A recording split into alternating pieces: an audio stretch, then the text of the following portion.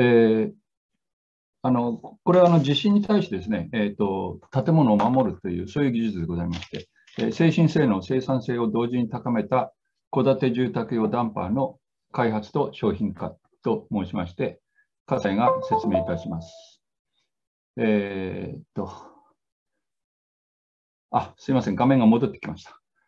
それでは、そちらの方使わせていただきます。えー、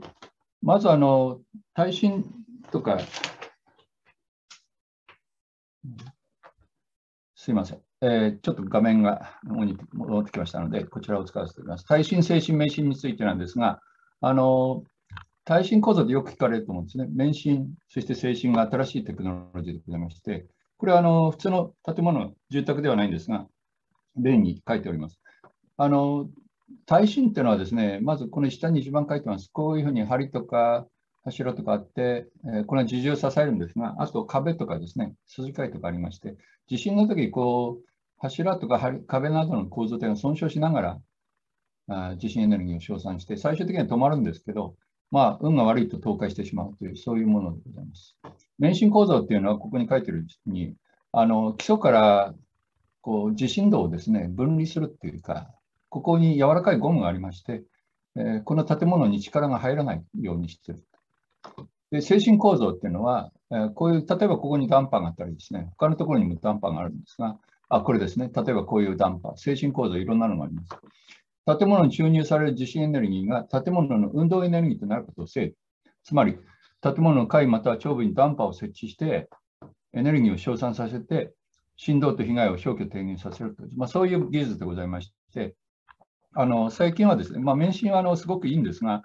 コストがかかりますので、えー、結構これがよく使われています。えー、超高層でも、えー、これはかなり、えー、代表的に使われております。で、それを戸建ての精神にも持ってこようと。一時、戸建てもですね、免震が流行ったことがあります。ただ、やはりコストがかかるので、現在ではほとんど精神構造です。えー、これがですね、私が20年以上前に、東工大の同志とともにですね、始めた戸、建て住宅の精神の研究の概要でございまして、えー、国民の大半が住む2450万戸の戸建て住宅の財産保持制の声非常に多いんですね。これに4をかけると1億人ということになります。で、そのうち政府では、まあ、当時ですね、1000万戸既存不適格だと。これはあの、えー、まあ、2000年の頃のあの、えー、データでございますけど、あまりそれから進んでないというところもあります。高層建築で培った精神技術ですね、先ほど話したあの大きい建物の精神技術を住宅へ応用しようという、そういうことでした。でちょっとあの細かいところは省きまして、えー、神戸の地震の直後ですね、えー、国の研究所である建築研究所ですね、そちらが調査したときにですね、住宅オーのオーナーにどのくらいの免震を使えばああ、免震構造がどのくらいのコストだったら皆さん使いたがりますか？というふうなことを聞きまして、えー、上屋が2000万円だとして、えー、170万円程度っていうのが、まあ大体その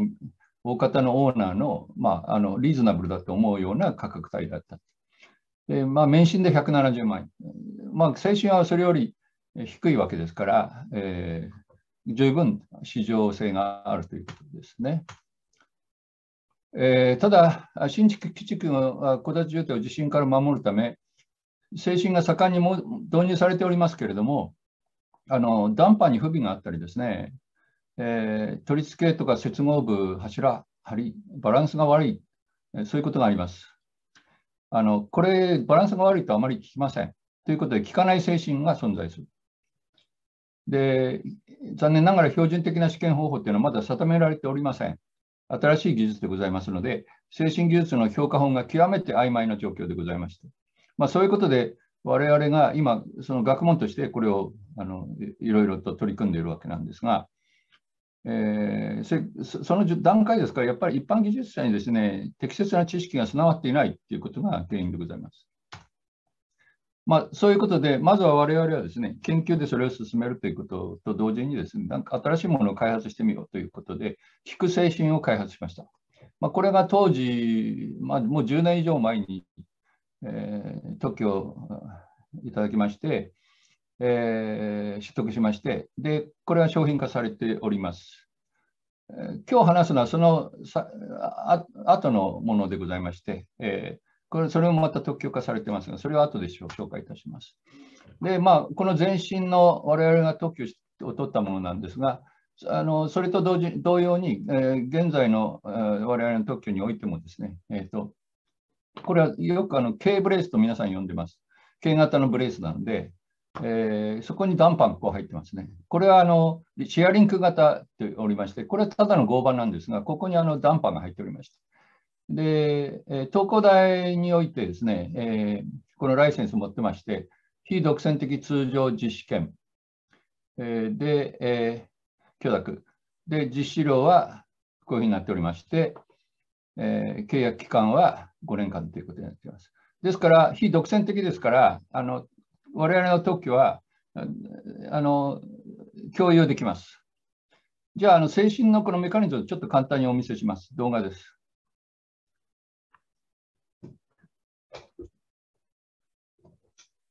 右側が精神ですね。このケーブレスがあります。このようにですね、横に揺れるんですが、ダンパーを縦方向の変形に変化しまして、これでエネルギー吸収する。揺れがだいぶ違いますね。えー、こちらが耐震構造ですね。こういうダンパーを持たないものだとこういうふうになってまして、まあ、揺れすぎるので、結局はこれ、今壊れないで揺れてますけど、実際は壊れるわけなんですね。それと、あとは地震が終わった後もこうずっと揺れてるっていうところがだいぶ違います。えー、過去7年と言いましても、これかなり前のデータでございますが、まあ、ただあの、ほとんどその後はですね、えーと、我々今、コンピュータシミュレーション、実験は非常にあの、まあ、多分あの日本の中で最も多く実験をやったあの大学研究グループでございますが、あのまずは接合部、柱とか梁の間の接合部とか、ダンパーをどうやって取り付けるか、これすごい大事ですね。接合部が壊れたら全然効かなくなります。それからダンパーそのものも良くなきゃいけないの、その実験。あとは、強制過信。これ、ダンパーを入れた骨組みの実験ですね。で、えー、それを強制的に動かすということですね。あとは振動台実験。これも住宅1層の場合がまあ基本でございますが、あの2層のものもありますので、えー、そういうところまでやった。であとは軽量鉄骨、これはあのハウスメーカーがよくやってることで、あつく使ってますよね。で、ハウスメーカーさんとの共同実験でもあります。まあ、こういうことでございます。えー、1番目話しました接合部実験とはこういうものです。これが柱で、これが土台。柱、土台。柱土台。いろんなその力が生じますので、その実験をきちんとやる。えー、その後、ダンパーの実験ということで、いろんなダンパーがあります。鋼材ダンパー、粘弾性ダンパー、後で話しますが、摩擦ダンパーっていうのもあります。で、今度は強制過信実験。これはですね、ユニットにしてですね、これをはめ込むわけです、住宅に。えこれが大体、まあ、日本の住宅だと91センチ、この幅がですね。で、この高さが大体その3倍、273センチっていうのが、まあ、標準的なユニットでございユニットでございまして、どのように実験したかといいますと、ここを止めてですね、下をまあ揺らしてみるということです。地震の揺れみたいなものですね。で、ちょっとやってみます。これ元の形はこうですが、これ後ろに見えると思います。あちょっと音が聞こえないみたいでごめんなさい。すみません。え、っと。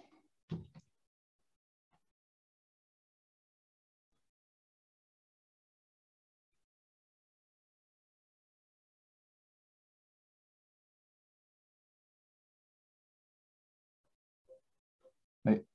では次に移ります。それであの今のようにここの部分があのこれの部分ですね、こう縦に変換されまして、これがあの薄い鉄のように見えますが、実はこの力がですね2トンくらいあるんですね。自動車の重さ1台分はあります。で、そのくらいの体力があるというダンパーでございますので、このダンパーを、まあ、地震ある方向に対して2個か3個使えば、えー、このこれが2面か3面くらいあれば十分であるということでございます。それで、なかなか壊れなかったので、どのくらいで壊れるだろうということで、さらに実験しました。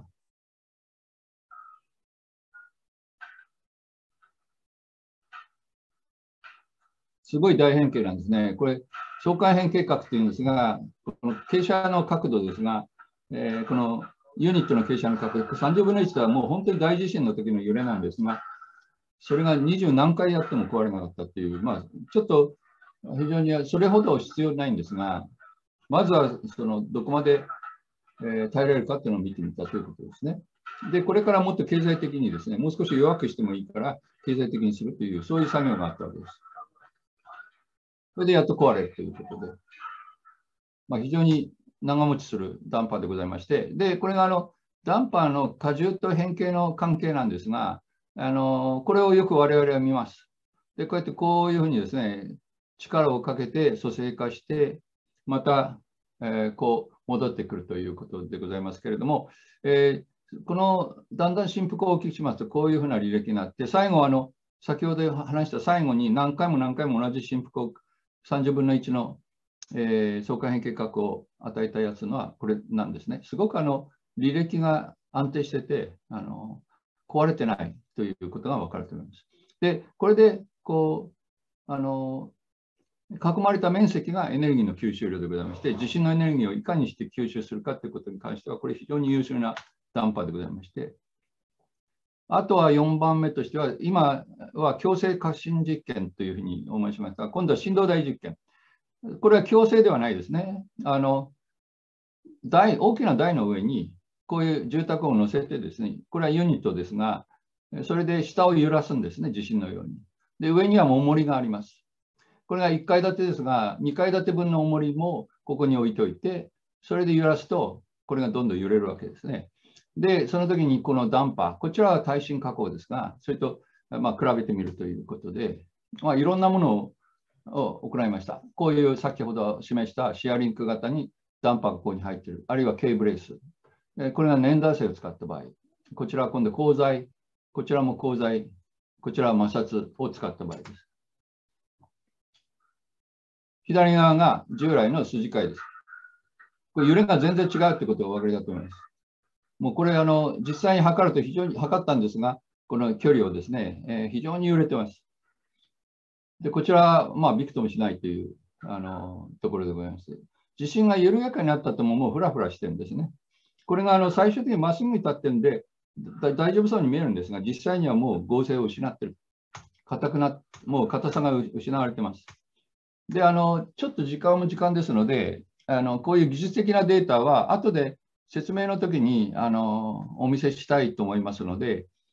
省きますが、まあ、何を示しているかこの揺れなんですね。この一番上のこれに対する揺れなんですが、これがやっぱり耐震だとすごく大きく揺れるんです。先ほどの前のスライドですが。えー、で、これ、例えば摩擦ダンパー使った場合、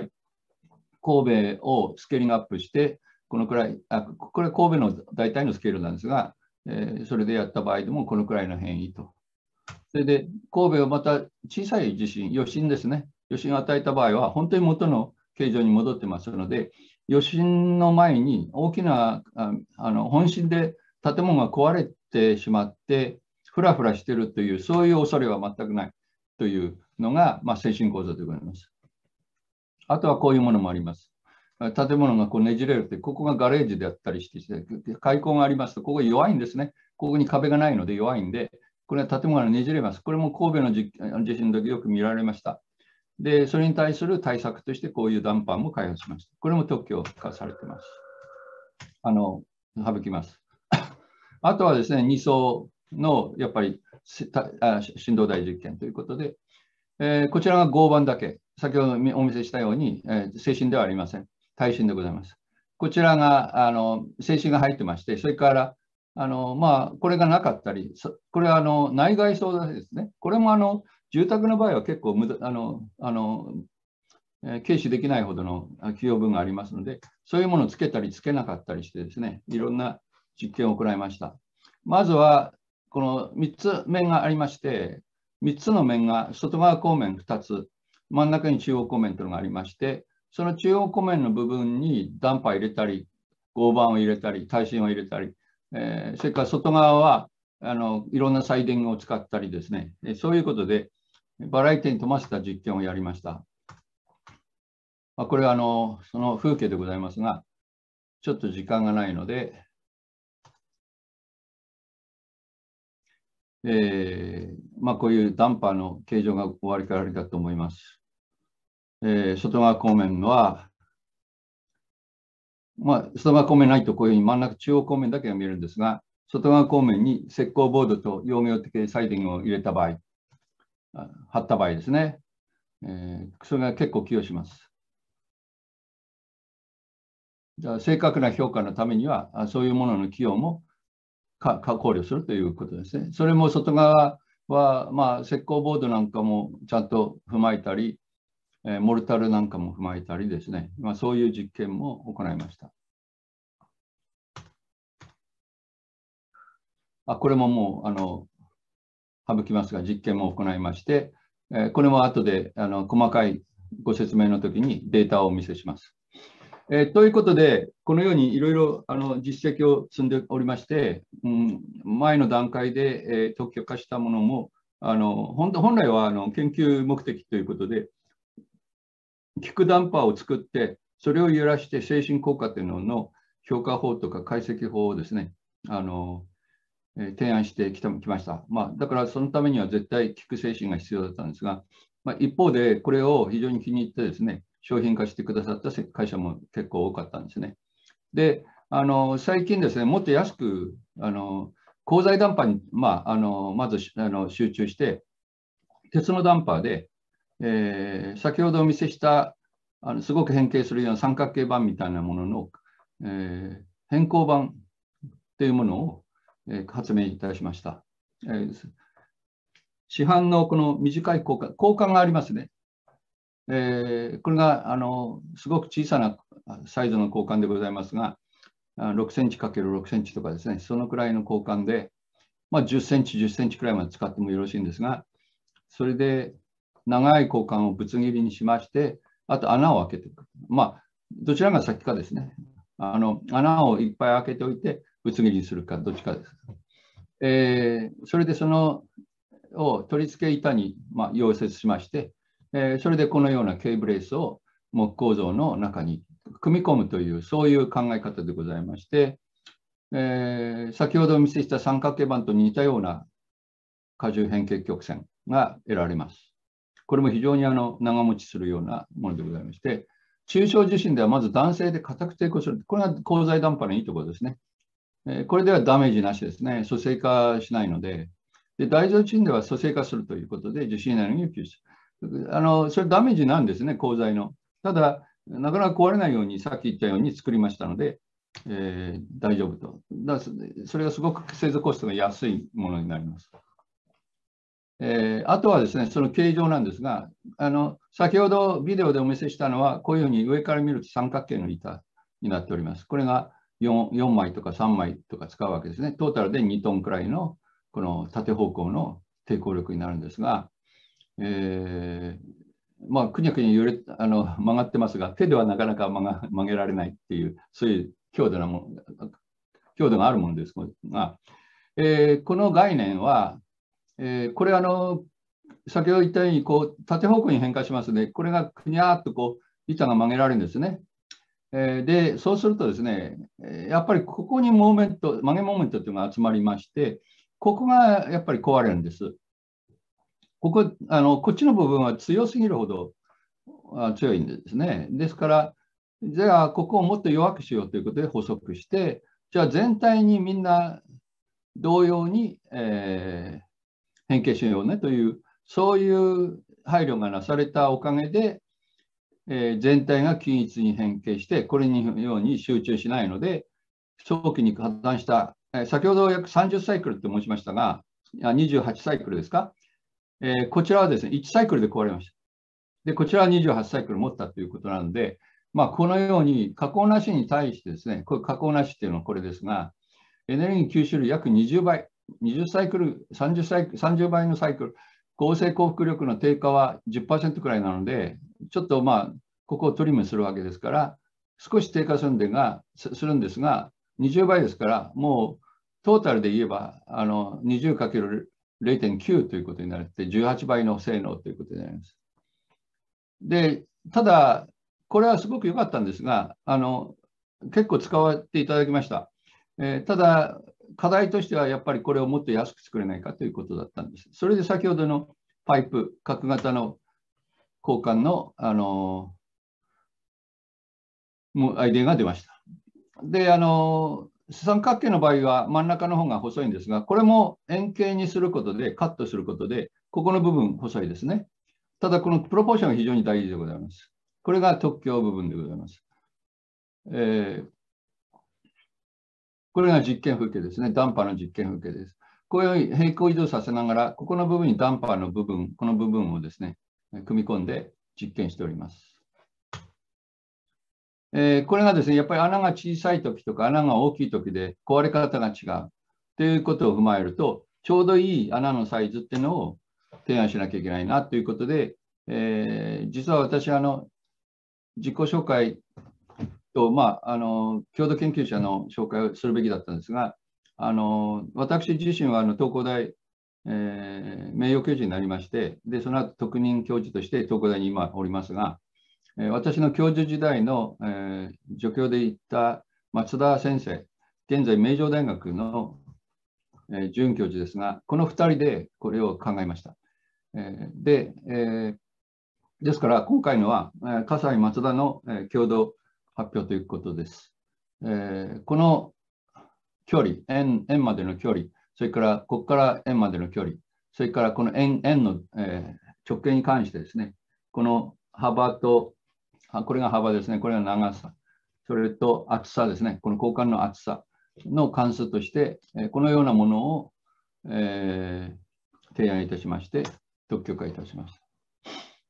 えー、で、実はこれはもう、あの、非独占でございまして、えー、本特許技術を用いて10社程度が販売を進めております。えー、まあ、どちらかというと、この1社がですね、フランチャイズということで、えー、それを、えー、東京大、東工大の非独占的、えー、のあ権利を持っている、知識権を買っているということですね。で、我々としてはですね、もういろんな会社に使ってほしいんですね。で、で先ほど言ったように、あの1000万個以上のあの既存不適格とか、そういうあの住宅が多いので、えー、やはりあの耐震では、普通の梁とか柱、木造ではなかなか限度がありまして、それはもういっぱいあの実験して、我々は実感していることがございまして、えー、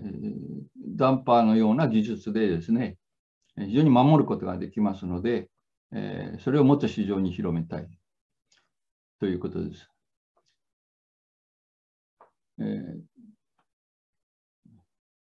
まあ、あの、今後の基準整備とか市場の展望を見据えたアドバイスは、あ東工大として可能でございます。えー、一応、この経歴でございます。この我々は私はあの精神構造とか免震構造、特に超高層の研究とかを今でもやっておりますが、同時に小さな住宅の研究もやってるわけです。で、えー、住宅に関してはですね、2000年頃から始めました。ですから、まあ、約20年の研究をやっております。2003年にですね、えー、国交省のプロジェクトがありまして、えー、それに応募しましたら、あのまあ、多額の研究費をいただくことになりました。で、その事後評価もオール A でございました。えー、この時はですね、民間企業3社と、えー、それから先ほど話しました政府の研究所ですね、建築研究所との精神兵器を共同開発いたしました。えー、それからその後はあの各社との、えー、共同開発がありました。2005年、2008年、2015年、2016年、2016。これはすべてえ特許化、これこれだけはちょっとまだ商品化されてませんが、他は全部製品化されております。商品化されております。えー、先ほどのあの角型交換に穴を開けたダンパー、そしてそれを、えー、組み込んだ K ブレースですね。えー、K ブレース型精神構造。まあ、そういうものを、えー、この発明の名称、ダンパー体及びダンパー体の製造法というところで見ることができます。えー、産学連携本部東工大の電話番号こちらでございます。こちらの方にご連絡か、ああるいはあの私の方に連絡していただければと思います。以上です。